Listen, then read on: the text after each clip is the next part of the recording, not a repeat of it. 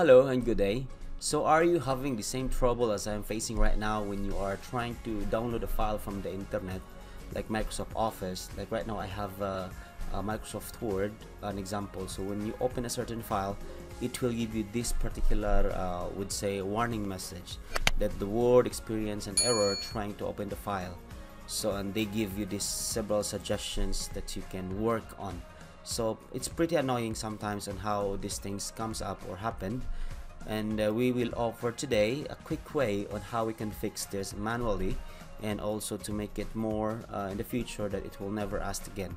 Reason for this is like there are so many files that's going on right now so it might contain a virus. So your computer is just uh, trying to protect your computer that getting uh, information which is uh, would say might contain some malwares into it.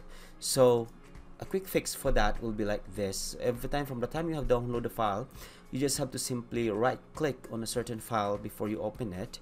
You right click into it and go to the properties of that. So after hitting these properties here you will have an options to see there, there's what we call security on the last part. This file came from another computer and might be blocked to help protect this computer. So the only thing you have to do right now is clicking this unblock alright so I'll show you first without clicking that so just simply open the file and you will have this message. Then uh, right now I will show you a way when I have to click this particular thing with the properties. Go to the unblock and then apply to that one and then click OK. So when you open it there you go. So your file is ready for you to work on. So this is the thing. So I hope you know it will help you out if you are facing these issues. So there will be another fix for that to bypass this particular security uh, issues. So let here I added more files just for you know tutorial. So right now all of them have the same issues that I have to unclick this particular uh, unblock before I can uh, open a certain file. So that's how it is to get the file uh, to be available. So now I will show you how you can do that one automatically for all.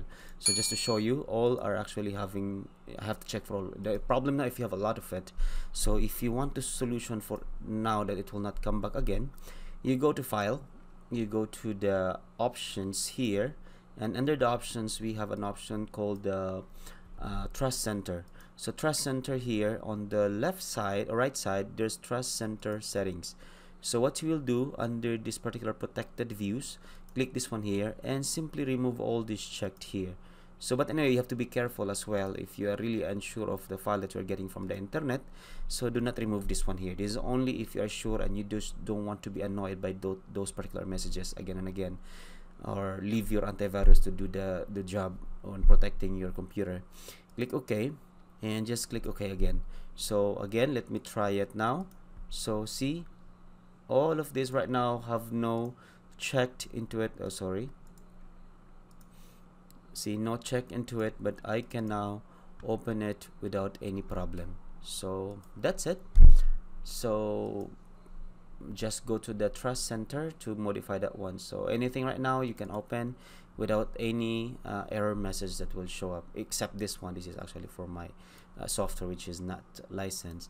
So that's the thing there I hope it helped and uh, see you around for the next tutorial videos that I have to make. Ciao everyone. Bye